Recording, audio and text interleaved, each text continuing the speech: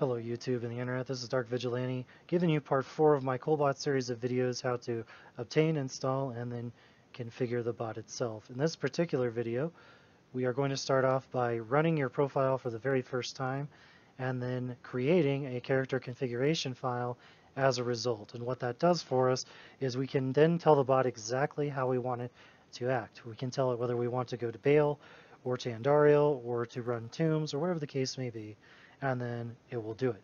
We have to create the character configuration file though to tell it to do that for that exact character. And for each subsequent character that we may make in the future, we'll go through this exact same process. So for, without further ado, let's get started. So the first thing we want to do is click on our profile and actually back up just a second here. Make sure you click save. I forgot to say that in the previous video, but save your profiles and then that way when you close out, it'll still be there when you come back in. I meant to say that in the last video, but I missed it. Continuing on. Go ahead and hit start, and that will create a Diablo 2 window, or open a Diablo 2 window, I should say. And if you filled out everything correctly, it will log into battle.net. It'll put in your username, or excuse me, your account name and password, and then make the game name and password that you told it to.